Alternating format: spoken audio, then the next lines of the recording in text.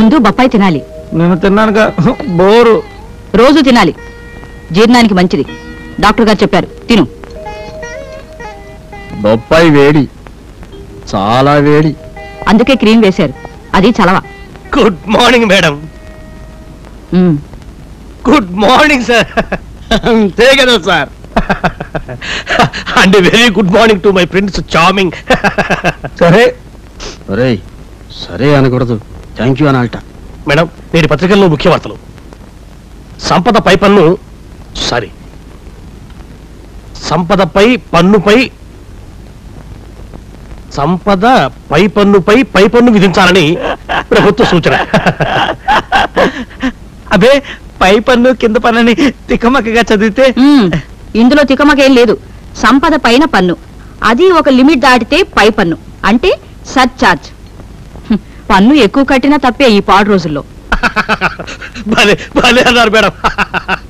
What a brain ఓహో ఏం జోకేశారు madam. క్షమించండి మేడం. నవ్వు నవ్వు ఆపుకోలేకపోయారు అయినా అరటి పండు మొలిచి చేత పెట్టినట్టు ఎంత ఎంత సింపుల్గా చెప్పారు మేడం. అసలు అమ్మగారు ఆర్థిక మంత్రి కావాల్సిన వారు. వాట్ అబ్జర్వేషన్ ఆహా ఓహో. రావు గారు అదే వద్దన్నది. వినేవాళ్ళు పొగడతాలనుకుంటారని చెప్పానా?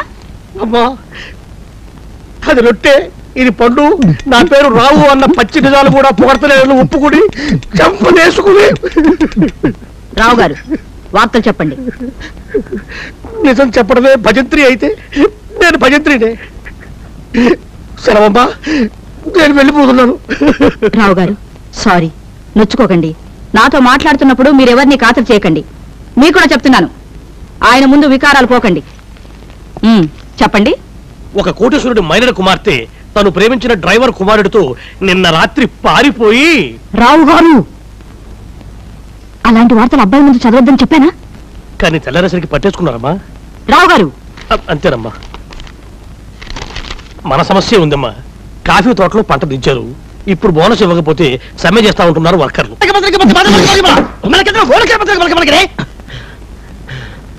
అబ్బే ఏం లేదమ్మా బోనస్ ఇవ్వడానికి వీల్లేదంట నాన్న. ఏం బెదిరిస్తారా సమ్మె చేసుకోమని చెప్పండి.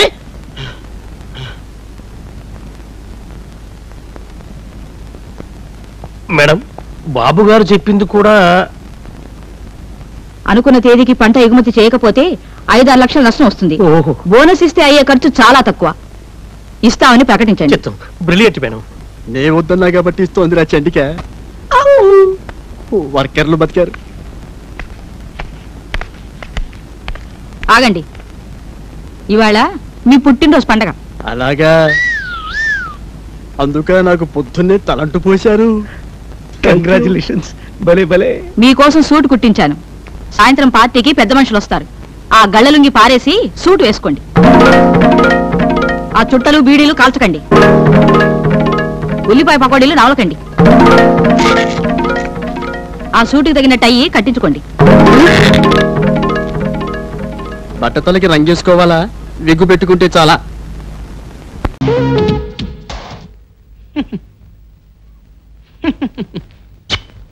మాస్టరు ఏమిటి ప్రాబ్లం?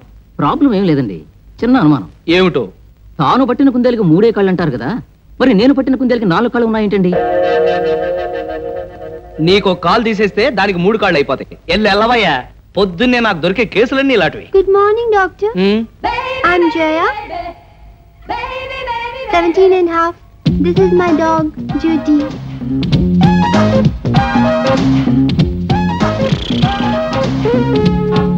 నేను మీకేమైనా సహాయం చేయడానికి పనికొస్తానా?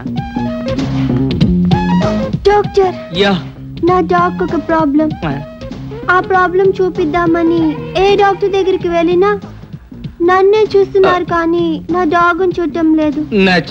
నా ప్రాబ్లం అడుగుతున్నారు కానీ దాని ప్రాబ్లం చూడటం లేదు. సెల్ఫిష్ ఫెలోస్ మీరు అసహాయ జీవుల కోసమే మీ జీవితాన్ని అంకితం చేశారని తెలిసి మీ దగ్గరికి వచ్చాను. థ్యాంక్ యూ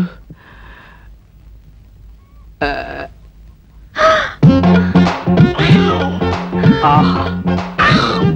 మీ కుక్క గుండె చాలా లయబద్ధంగా కొట్టుకుంటుంది. మీరు వింటుంది. నా heart beat doctor is it sorry కుక్క ఇది? ఇదిగోండి. జెట్టి come on please compounder sir Nutra injection okay sir పేరు? జయ వయసు పోండి డాక్టర్. వయసు చెప్పడానికి సిగ్గుగా ఉంది. వయసు గురించి అడిగితే సిగ్గెందుకు? ఇట్స్ ఆల్ రైట్ వదిలేద్దాం. పెద్ద మనిషి ఎన్ని రోజులైంది? చిప్పాడు. అది కూడా అడగాల. డాక్టర్ దగ్గర ఏది దాచకూడదు. మ్మ్, ఆరేళ్ళయింది ఆరు సంవత్సరాల? అవును. తొమ్మిదో తరగతి చదువుతున్నప్పుడు తొమ్మిదో తరగత? కుక్క తొమ్మిదో తరగతి చదివిందా. మీరు అడిగింది కుక్క గురించి ఆ. ఆవిడ చెప్పింది తన గురించి మై గాడ్. నాకు అర్థమైంది ఆటోబయోగ్రఫీ గురించి. Shut up okay. You get అలాగే. ఏమిటో డాక్టర్? ఇది ఆడ కుక్కల్ని చూస్తే మరుగుతుంది. మగ కుక్కల్ని చూస్తే గీల గీల గీలలాడిపోతుంది. నాకేంటో అర్థం కావటం లేదు. హలో? I see. ఇప్పుడు నేను చెప్పబోయేది మీ కుక్క వినకూడదు. బయట పంపించండి షూటీ go in wait outside ఏమైనా ప్రమాదమా డాక్టర్? దాన్ని టెస్ట్ చేసిన తర్వాత దాని మనసులో ఉన్న బాధ వ్యధ గాథ స్టార్ టీవీలో చూసినట్టుగా నాకు అర్థమైపోయింది. దానికి వెంటనే తోడు కావాలి. నేనున్నాను కదా డాక్టర్? అబ్బా మీరు ప్రతిదీ డబుల్ మీనింగ్లో అర్థం చేసుకుంటున్నారండి. నా ఉద్దేశం ఒక అందమైన మగ కుక్క తోడు కావాలి. అయ్యయ్యో డాక్టర్! దానికంత గొప్ప వంశంలో మగ కుక్క దొరకటం ఎట్లా? దీనికి వంశానికి సంబంధం ఉంది ఇప్పుడు సపోజ్ మన ఇద్దరం పెళ్ళి చేసుకున్నాం అనుకోండి. డాక్టర్ ఏమిటి మీరు మాట్లాడేది? ఐ మీన్ నా పెళ్ళి నేను మీ పెళ్ళి మీరు చేసుకున్నారనుకోండి. అలాగే దానికి కూడా తోడు కావాలి. డాక్టర్? ఆ మగ కుక్కని కూడా మీరే వెతికి పెట్టరు? చిచ్చి నా వృత్తినే మార్చేస్తున్నారండి. నేనేమైనా పెళ్ళిళ్ళ బ్రోకర్నా? దట్టు బొచ్చు కుక్కకి. Please doctor. Okay okay okay. నాకు తెలిసిన ఫ్రెండ్ ఇంట్లో ఒక మంచి కుక్క ఉంది. అక్కడికి వెళ్ళి కాంటాక్ట్ చేయండి మీ పని అయిపోతుంది. డాక్టర్ ఐ మీన్ మీ కుక్క పని అయిపోతుంది. Thank you so much doctor okay మీరు చేసిన ఈ సహాయానికి కృతజ్ఞతగా మా డాగ్ ఒక మగ డాగ్ పుడితే మీ పేరే పెట్టుకుంటాను. Boy boy boy boy boy boy బాబు త్వరగా లాంచ్ చేయండి అయ్యా. భద్రాచలం చూసి బండి ఎక్కాలి. గైడ్లో ఎంతో లాంచి కదలదు మరి. ఎప్పుడు వస్తారు బాబు? వాళ్ళు అప్రోల్ కోతుల్లో కూకున్నారు.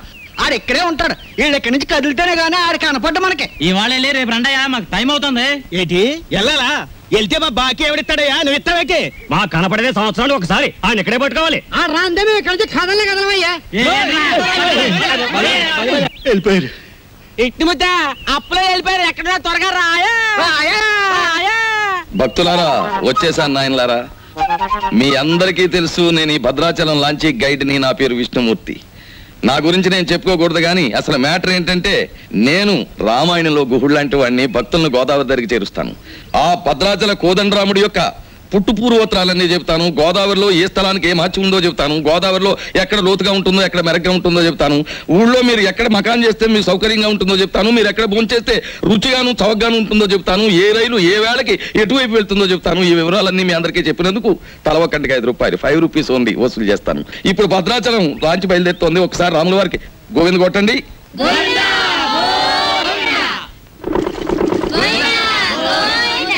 అసలు మ్యాటర్కి వస్తాను? శ్రీరాములు వారు చిత్రకూట పర్వతానికి వెళుతూ షార్ట్ కట్ అంటే బంగారు లేడి మ్యాటర్కి ముందన్నమాట. అదిగో అక్కడ మకాన్ చేశారు అలా చూడండి. ఆ పక్కనే పెద్ద బండ కనిపిస్తోంది చూడండి. అక్కడ సీతమ్మ వారు చీరలు తుక్కునేవారు సీతమ్మ తల్లి! అలా చూడండి. భారత కాలంలో పాండవులు వనవాసానికి వచ్చినప్పుడు ఈ గోదావరి ఒడ్డునే వెళ్తుండగా భీముడు కాలు జారి పడ్డాట. కృష్ణ భగవానుడు వచ్చి పైకి లేవదీశాట. అక్కడ పెద్ద గొయ్యి పడిందట. ఇప్పటికీ ఆ గొయ్యని కృష్ణ భీమ గొయ్య అంటారు. దాన్నే బ్రహ్మరంధ్రం అని కూడా అంటారు. అది. అదేంటండి? భారతం ఇటువైపు రామాయణం అటువైపు జరిగిపోయిందంటారు. చేచే మేము నమ్మం. అపచారం అపచారం. ఏమైందిరా? మిషన్ మొత్తం చెడిపోయిందండి. కొంప మునిగింది. ఈయనేదో అప్రాచప్ మాట అన్నాడు. లాంచ్ ఆగిపోయింది ఎదురా సుడిగుండాలున్నాయి. మొన్న నైజీరియా వాడ పులుసులో వంకాయల బుడుక్కుమని ఇక్కడే మునిగిపోయింది. భక్తులారా మీరెవ్వరూ ఏమీ భయపడకండి. పంతులు గారు వాళ్ళు హడిల్ చచ్చే మ్యాటర్ చెబుతారు ఏమిటండి? ఏమైనా విరుగుడు మ్యాటర్ ఉంటే చెప్పండి. ఇప్పుడు మేము ఏం చేయాలి? ఏముందండి గంగపోతు చేయాలి. మీరు వంద ఇవ్వండి భక్తులందరూ తలో పది రూపాయలు ఇస్తారు చేసేస్తాను. నా వంద. ఓం గంగే జవనే జైవ గోదావరి సరస్వతే. నర్మదా సింధు కావేరే జలేస్మిన్ సన్నిధిం కురు. కావేరే తుంగభద్రా చ కృష్ణవేణి చ గౌతమి. భాగీరథే మహానద్యా పంచగంగా ప్రకీర్తితా. ఓం శాంతి శాంతి శాంతి. యంత్రే ప్రారంభే శుభే. మోటార్